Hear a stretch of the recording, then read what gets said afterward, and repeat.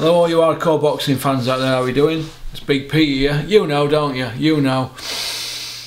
What's Eddie Hearn doing for Billy Joe Saunders, Callum Smith, John Ryder? What's happening with them boys? Josh Warrington. Where, where, where, where are we going here with this? Where are we going with these lads here? Why are they not getting on these shows? What's what's happening here? I don't know. I just uh, they must. These lads must be thinking, oh my god, there's another pay-per-view slot going out to Dillian Whyte. Dillian Whyte's getting his sixth pay-per-view in two more months. But these lads here, they're not they're not getting looked after, are they? They're not eating at the same table as Dillian Whyte, are they? Everybody's eating except Josh Warrington, undefeated, Callum Smith, undefeated, Billy Joe Saunders, undefeated, three world champions there, all of them not eating. And John Ryder were robbed in his fight against Callum Smith.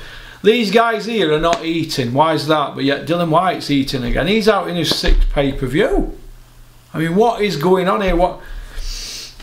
I don't get this, me. What, what has Dillian Whyte got on Eddie Hearn? Is Eddie scared to death of him? Why? Is he scared to death of the the fraud fraudulent guy who's his brother, Dean Whyte, Dean Povetkin, Dean Fury, Lemire Scott, Gappy Dean, whatever they want to call him?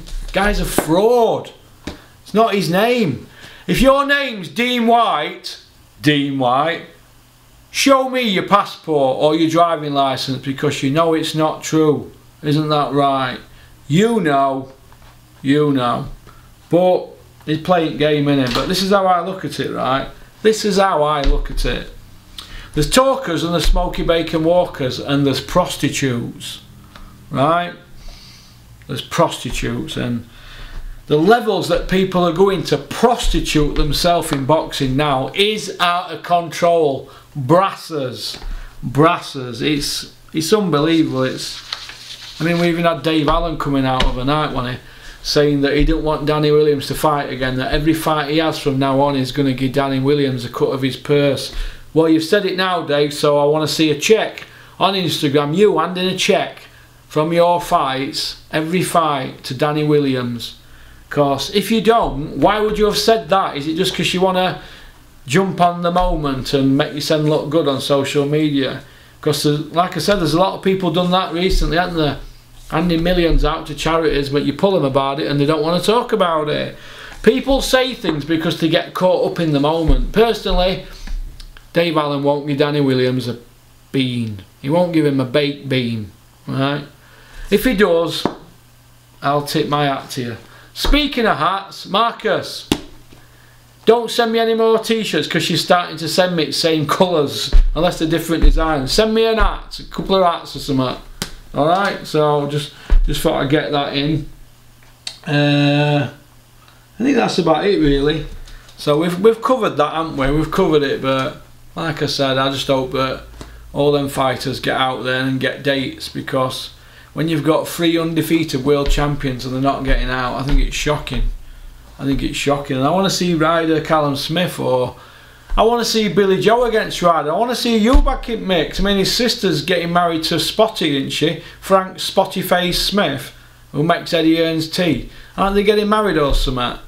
Old Spotify, Oxy 10, isn't he getting married? And can't Chris Eubank tell his sister to get Eddie to get him on a show or something? I mean, what's going on here?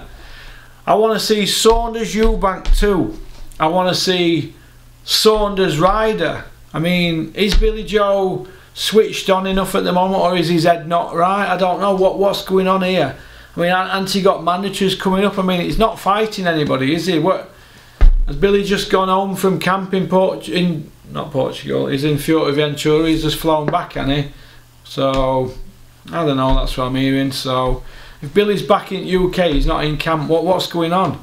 Are they trying to get him to fight Callum Smith? Doesn't he want to fight Callum Smith? Is that why he's come home?